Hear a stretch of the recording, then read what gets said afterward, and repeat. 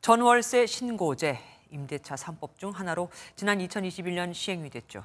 그런데 3년이 지난 지금도 미신고자에게 과태료를 부과하지 못하고 있습니다. 계도 기간 동안 신고하지 않은 계약건에 대해 과태료를 매겨야 할지 결정하지 못했기 때문인데 정부가 이번에도 적용을 미뤘습니다. 벌써 네 번째 유예입니다. 이승훈 기자입니다. 지난 5일 새로 계약한 월세 계약서입니다. 계약 시점부터 한 달 안에 계약서를 들고 관할 주민센터에 신고하게 돼 있지만 의무 사항인지 모르는 사람들이 적지 않습니다.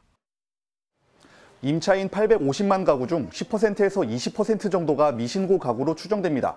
특히나 월세 경우 신고율이 절반에 그칩니다. 공인중개사에겐 신고 의무가 없고 보증금이 적은 월세는 임대인과 임차인 모두 신고하지 않고 넘어간 경우가 많습니다.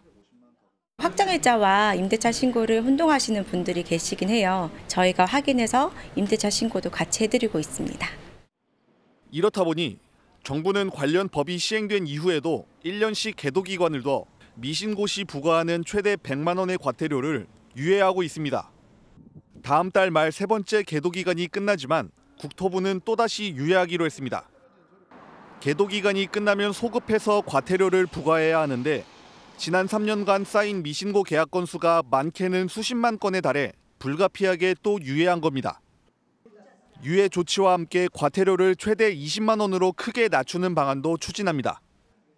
세입자 보호 차원에서 도입한 제도지만 실효성 논란 속에 제대로 시행조차 하지 못하면서 시장의 혼란만 키웠다는 비판이 나옵니다. MBN 뉴스 이승훈입니다.